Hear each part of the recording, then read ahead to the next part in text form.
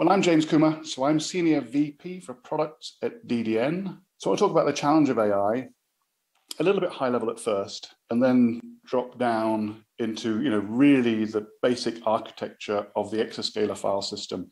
And you'll see we, you know, under, underneath it's called Exascaler, um, and we brand it as A3i, which is essentially a packaging of the qualifications we've done with NVIDIA uh, and other IPU and GPU vendors, um, as well as the benchmarking, the testing, the optimizations we've done for that world. So when you see A3i, you can also think that's really the Exascaler file system, but with optimizations for AI. And I'll talk about the architecture. Um, at a very basic level. So you can see, you know, really at the roots of how the file system works, it's well suited to these kind of challenges. So first, um, if you've come across the term the AI factory, relatively recent, is essentially a way of viewing AI infrastructure, whether it be in the cloud or on-prem. And it allows people designing systems to, you know, just analyze things in a methodolo methodological way.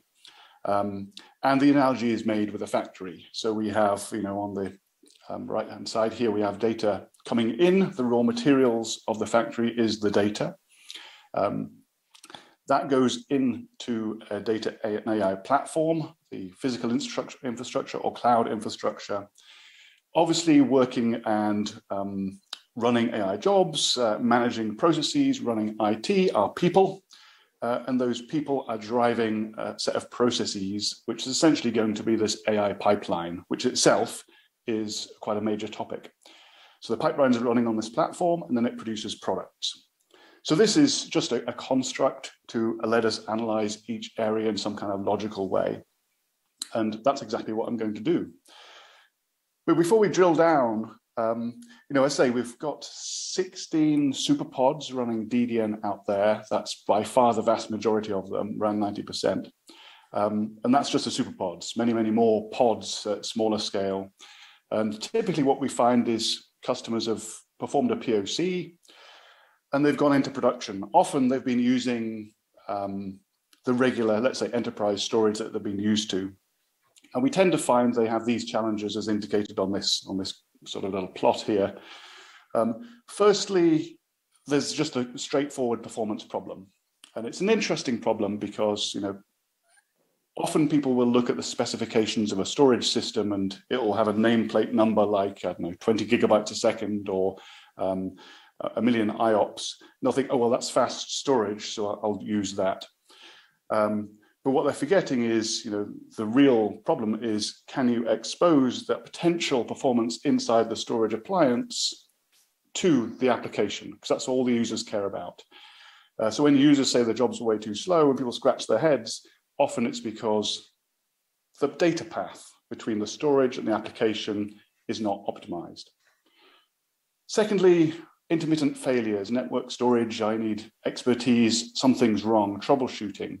Um, now, this is something that genuinely that sort of 20 years of experience at DDN really helps at. Um, if you can imagine, we've been building these systems at extremely large scales, literally the largest supercomputers in the world for many years. And what you get from people and software is an ability to cope with these corner cases that crop up. Those corner cases happen when there's many, many clients. Uh, the networks are being pressured uh, very strongly. The applications are all over the place and tricky things happen.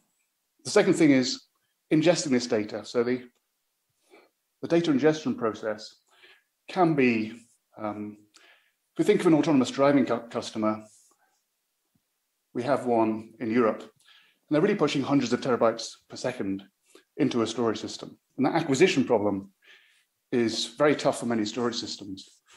So when you get a vehicle running through a city, it's got LiDAR, radar, cameras, and it's pulling in data from, from the streets. Um, often there's a, a person with a, an iPad sitting there um, checking out the supervised learning process, but these cameras are ingesting gigabytes per second, the radar, and the LiDAR as well. When it gets into the sort of data center at the end of the day, often a single vehicle will have 100 to 200 terabytes of data in that vehicle. And all that data needs to be moved somehow into the AI infrastructure. in order to be processed, in order for that data to be applied into a deep learning infrastructure and for the models to be trained upon that data. So this ingest problem, I'll skip back and forth between these slides a second. This ingest problem, from a storage perspective, remember it's a write problem. We're writing into storage. It's important to remember that because some storage systems are great for reads, but not so great for writes. And we do need to have write capability, very, um, very important uh, fundamental point for AI storage is don't forget about the writes. And I'll come to that a bit later. And then the sort of one in the middle here is about siloization. And I think we see this repeated in the industry. One of the greatest challenges for AI customers is, you know, once we've got a, a POC running or even production system running, how do I scale that? How do I add in uh, new AI um, solutions into my infrastructure and often the biggest barrier is how do I get to the data to the right data scientists? How do I share it? It's over here, it's locked away, it's in a different secure system, it's in a different region, it's siloed by the nature of the storage systems. So these are the typical issues we see. And just drilling in those various areas of the AI factory, this is you know, looking at the pipeline. The pipeline is acquisition, processing, training, production, and then storage. And it differs from traditional HPC workloads or even traditional analytics workloads. I'd say this acquisition process is a tough one, often hundreds of terabytes, or it might be in NLP, you might be bringing in as a finance institution five or 10 million documents a day. Um, and that becomes many, many streams, a different sort of IO problem. But again, you're writing that into the storage. You're doing it simultaneously to all the other things. So when I look at your slides, and if I would use the, the usual terms of training and inference, I would say that the first three items are, are meeting the training concept and the, the last two items uh, inference. Now, the, the hardware requirements for inference and training are significantly different, meaning when I think training, I think lots of data, uh, but batch processing with GPUs, while on the, the inference side, it's more real time uh, and and dealing with models. Do you see the same infrastructure or storage being used with training and inference? Yes, and you're exactly right. So deep learning, um, you essentially do often multi-epoch training. We might come to that actually. Um, so there's a certain sort of I/O activity from a storage perspective. The compute to storage or I/O ratio is high. So compute, there's lots of compute per I/O generally speaking, in deep learning. Whereas in inference, it flips. There's not a lot of compute. It's fairly lightweight, relatively speaking, but there's obviously you're pushing lots of data through. Um, but we do deploy the same infrastructure. Um, how we architect that, the ratio of compute to, let's say, flash, um, the number of network connections will change between the two, the two models. Um, and you're right to point out that the, the, latter part of this is maybe more inference based. Um, but of course, in reality, it's more complex. There's a feedback cycle. So often you don't really just store things and leave them. This tends to be very much active storage. Um, uh, it's rare that you will just park storage and never touch it. You will often bring it back into play to retrain models uh, later on once you've got more data added in. So it's kind of different in that way. The storage needs to stay active. You can't just park it in a tape library and forget about it. It's usually going to be used repeatedly. So you're saying this is a novel data challenge, but we've had like even not even in AI systems, but we've had IoT like data streams coming in, smart meters, traffic monitoring, um, health data. So, yes. what is unique about these challenges, which I agree are challenges, that is specific to AI that you're talking to us about? Yes, thanks. Well, firstly, I suppose we should partition AI. There's, there's AI, which is things like computer, consumer preference analysis, which tends to use structured data so like your IoT problems, these tend to be small data problems, essentially. Um, uh, lots of bits and bytes often going into a database. We really deal with at-scale AI, and that tends to be dealing with unstructured data. So it can be files, documents, but often it's video, it's audio, it's LiDAR. So it's really the sheer volume of the data. So I mentioned autonomous driving, and I say real customers pulling in 200 terabytes per day per vehicle multiple vehicles per city, multiple cities per continent, you can easily get, and we have customers doing this, hundreds and hundreds of petabytes of data, which you'd really never get from, let's say, the typical IoT scenarios we got. So the volume of data is huge. So I think we've had big data IoT that wasn't going into an AI system. So that's the sort of like this, the, the line I'm trying to get to here is that we do have videos coming in that aren't going into an AI system, like for instance, for record keeping and uh, logging and those things. And the same thing with manufacturing, with IoT, yeah. and maybe not, you know, like you've said, mega terabytes from a million cars driving around every day. But I'm trying to, to get you to give us what that distinction is for other very large unstructured data problems. So I think really the, the key is the word deep in deep learning. So the revolution that's made all this possible is the fact that they found a new set of algorithms whereby the more data you gave it, the better and more accurate the decision making became from an AI, model. Um, and that hadn't happened before before there was before the, the latest generation of AI came along, you know, the more data you gave it, it didn't get any better. Um, deep learning is that. It is the more data you push in, the better your models get. That's even true for billing, but I'll give that to you. Oh, so, so somebody asked me to sort of point out what we do different. And I want to go to architecture as well, but high level first, exactly what we do different is, is here in sort of the next four slides. I'll run through them quick, quick, and then take some questions. So firstly is, you know, our storage systems, you'll see some numbers later on, but we can pull in from 2U, something this big, 65 gigabytes a second. I mean, it'll do 3 million IOPS. Um, so that means we can ingest tens of millions of documents and video in real time. Um, so if you compare DDN with other storage systems and just look at a rack diagram and the, and the write figures, the write performance, you'll see we have a really extremely strong write performance per rack unit, per dollar, um, per watt, or whatever it is. Um, secondly, there's a lot of stuff in here which we really can't go through in detail, but we've spent the past four years really building optimizations into these various areas of the AI data lifecycle. So it started maybe three years ago with us implementing GPU direct storage. So that's a a mechanism for pushing data from the storage directly into the GPU memory, bypassing the CPU. We've done optimizations for, if you think about what's going on in this stack, you've got AI frameworks running inside containers, running on GPUs, running inside GPU systems across the network, across multiple rails to the storage. At every point there, we've got optimizations, optimizations for the frameworks.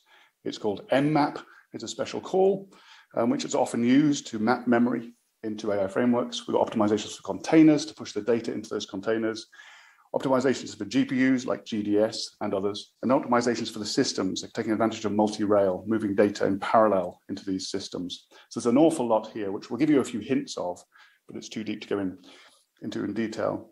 And then in terms of storage, we've also, and you'll see some pictures later on, um, we've got an architecture which gives you the speed of flash, but allows our customers, which I say, they often have, you know, even tens of petabytes, but 100 of petabytes, still we're in an age where doing tens of petabytes with all flash is rather prohibitive. Um, so we can archive those effectively, but within an active storage system. I'll show you how uh, fairly shortly. And then how does storage really help those key issues for our customers? Well, they've got data scientists, they've got to find them, they've got to keep them, they've got to keep them productive. Um, all that effort we've done in optimizing all areas of that workflow really helps. Hey, James, us. the ingestion is, I would guess, heavy write types of workloads, but the yeah. the training would be heavy read workloads. I mean, are you optimized for both of those in an exascalar solution, or and, and you know some of these are large files, and some of these are fairly small file images and things of that nature. So that's the other a dimension of optimization that needs to go on. How, how do you play in that multifaceted yeah. IO requirement space? Great question. Um, so the, you're right, quite right. You've got to do it all. You've got to do writes, you've got to do random writes, you've got to do reads, you've got to do random reads, you've got to do metadata, and you've got to do IOPS, read and write. Um, and more than that, You've got to deliver all those things, not from a storage perspective, from the application perspective. So, but just you know, to answer your question straight, um, in that 2U system, which is scalable, we do 90 gigabytes second for read and 65 for writes. We do 3 million IOPS for read, and we do around 300,000 file creates per second. To answer it very straight, um, that's in the 2U platform. It scales as a parallel file system. Um, but really, underneath this is what optimizations have we done in the data path? And that's really where the difference comes with this parallel file system approach compared to, let's say, NFS approaches. And I'll try and explain that in the next few slides. And I'm, I'm assuming that, let's call it GPU direct, really applies to more of the training side of thing rather than ingestion. Is that correct?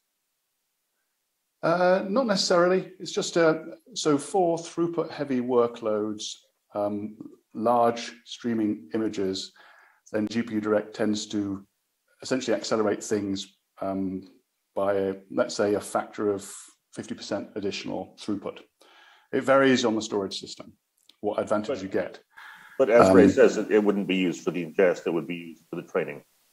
Exactly, it would. Yeah, and uh, just a, a, question about some of those performance numbers. I mean, are those entirely purely random uh, reads and writes? Oh, no. Should, uh, to take into account multiple uh, multiple applications attempting to work on the data at the same time.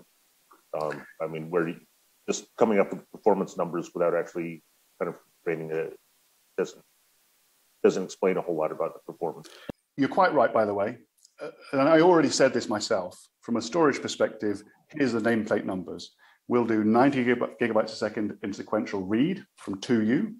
We'll do 65 per second in sequential write from 2U we'll do 3 million random read 4K IOPS in 2U. But you're absolutely right, that doesn't matter. What matters is what the application sees. And I think the best proof point of that is actually data from NVIDIA running MLPerf. Um, so we've got the leading numbers for 16 out of 16 out of the benchmarks in combination with NVIDIA on the Selene system. And of course, if we were to talk about real you know, individual applications and benchmarks, MLPerf is probably one of the leading ones, not exclusively. Um, and we're effectively leading that. Let me jump down because I want to talk about the architecture of Exascaler.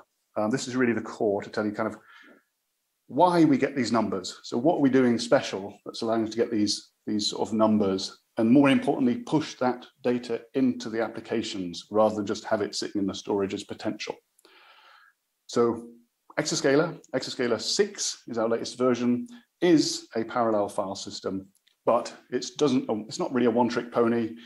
Um, it does provide throughput and IOPS and metadata. Um, we've got a comprehensive management framework, online upgrades, uh, rich GUIs.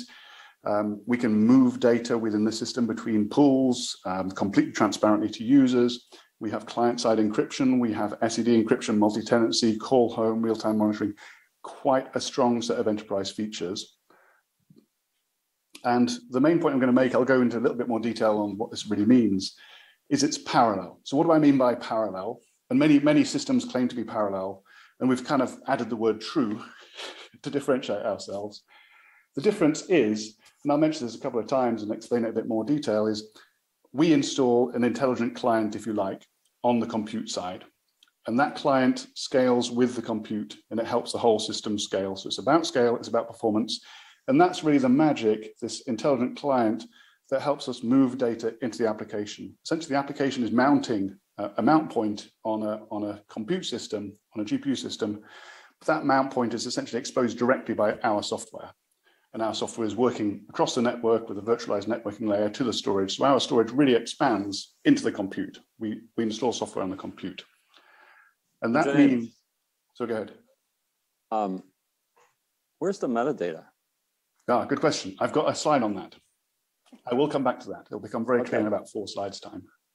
And you mentioned the, the, the intelligent client that runs to, uh, is the, I'll say, is the data sharded across the? Good question. I've got an answer to that soon. We're going to come back to it. Maybe pause just for like uh, maybe three slides and I'll, I'll explain everything. All right.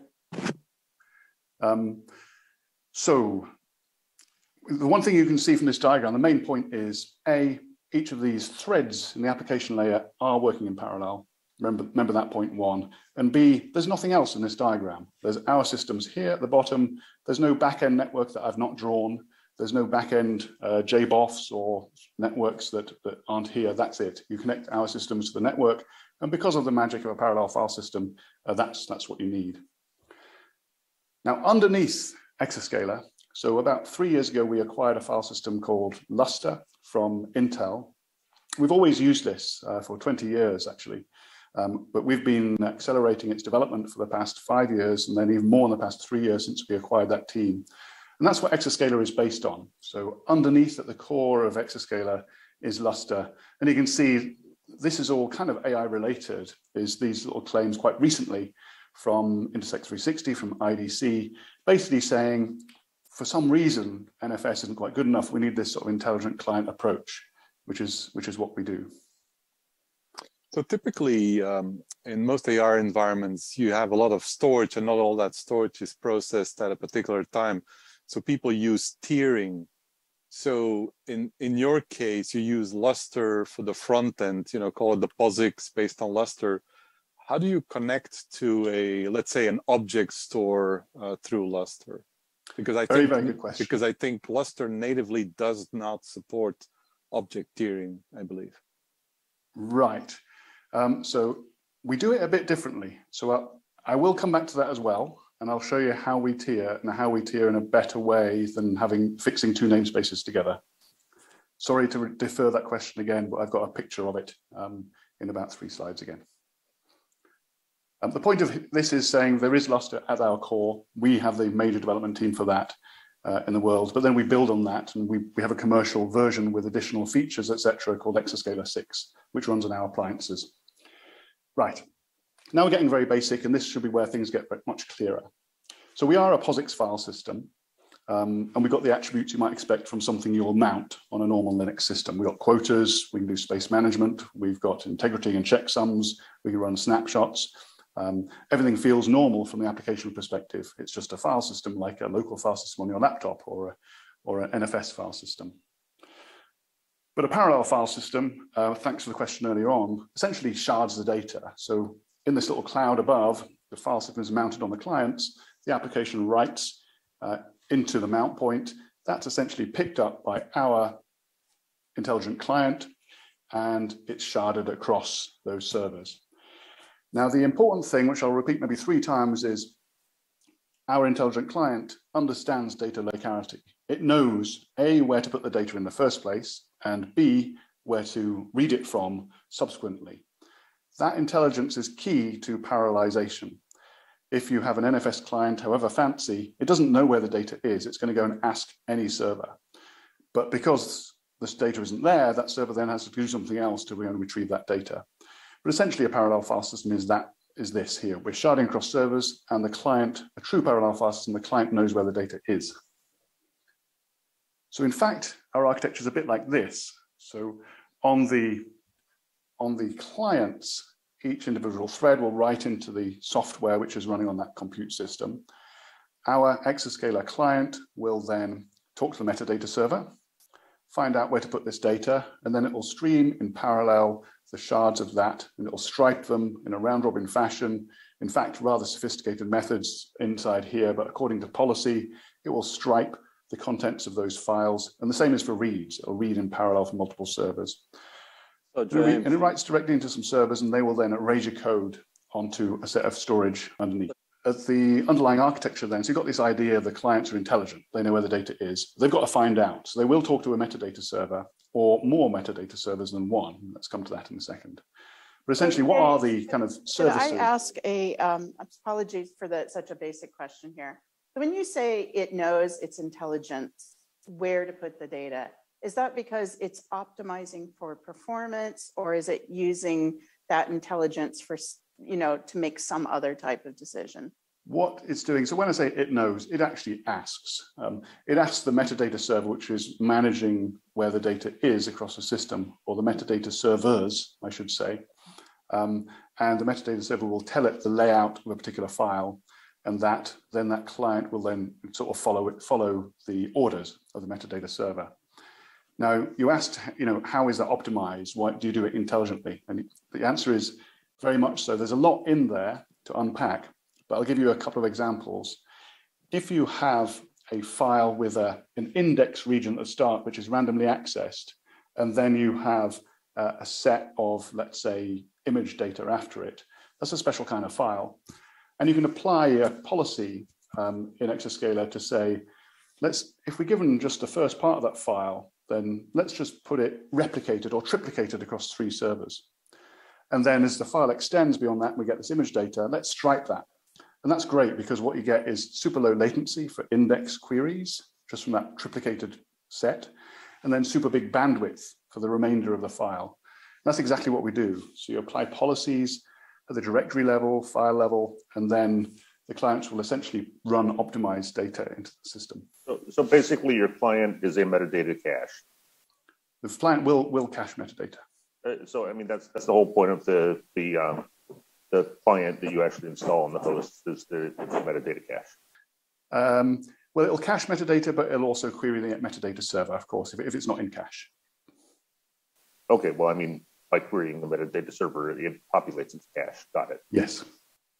So in fact, if you really want the detail, it's here. Um, but essentially, the, the point about this slide is not to go into super technical detail, right? But what it is, is to say we have scalable metadata servers. So you can have 40 metadata servers in a single parallel file system. So it might be racks and racks of systems in a data center. It might be very compact. And I'll, again, I'll show you how we do this physically soon. But there's many metadata servers. And at a sing in a single directory, we will shard across the metadata servers. And as you expand, we'll automatically consume uh, and balance the metadata load across the multiple metadata servers. So there's a question earlier about, you know, how do you how do you scale that metadata? Well, we, we do it in a number of kind of complex ways, but A, we shard within a directory, and B, we shard across a file system in, in fairly sophisticated ways. So the whole point of this is to say, you know, an individual thread running on an application can now see the bandwidth of the parallel file system. It can gain the IOPS of the parallel file system. It can get scalable metadata requests from a single thread. And that's really the key. The point is not the storage system is fast, but it is. The point is we can actually push that potential into an individual thread or an individual client.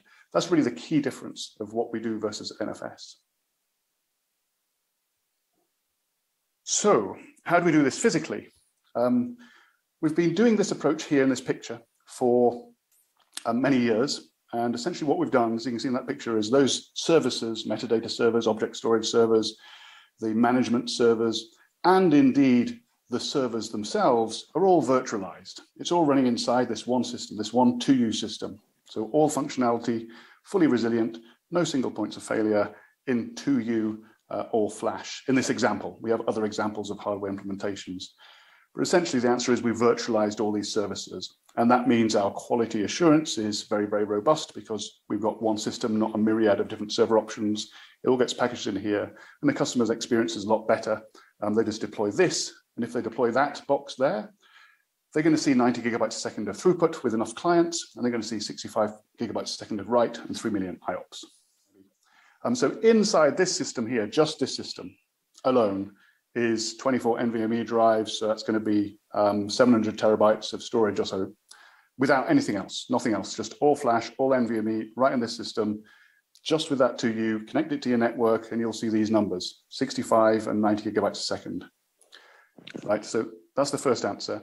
The second answer is, what if you do want to scale? What if you want to scale using HDDs? What if you've got hundreds of petabytes of data? Um, then you can use these expansion options. Um, so essentially attached to that controller with the flash inside it, you can have these 90 bay enclosures, up to 10 of them.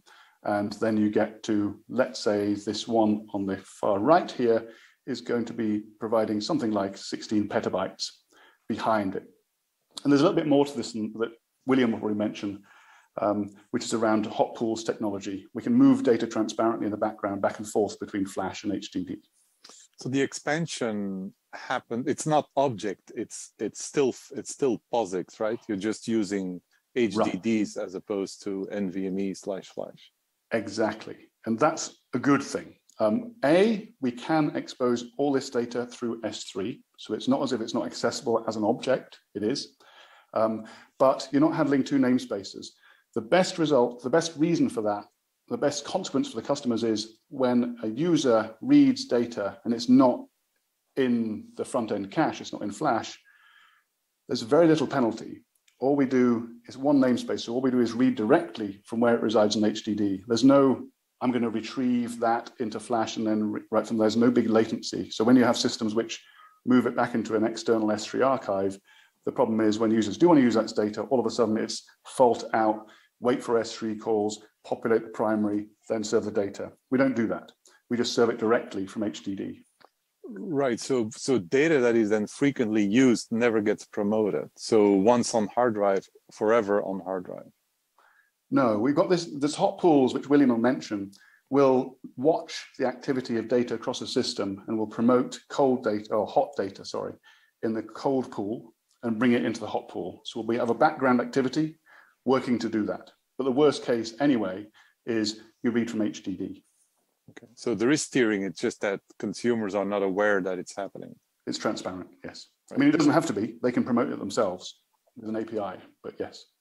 Now, I mentioned this intelligent client, and there's one fun aspect of having this intelligent client. We can do things which others can't do. So this is a picture of Insight. It's a, a web-based dashboard for monitoring management of our infrastructure. You can see in this picture, you know, you're looking at power supply health and this kind of stuff, how much capacity you consumed. Um, but the fun thing is here, and we could talk about Insight for an hour, but we're not going to. Um, this is the differentiated piece. When an application sends data into our file system, our client will also tag that request with the user ID, the job ID, the client ID, and that gets accepted by the server. We pull it into a database and we can present it back. So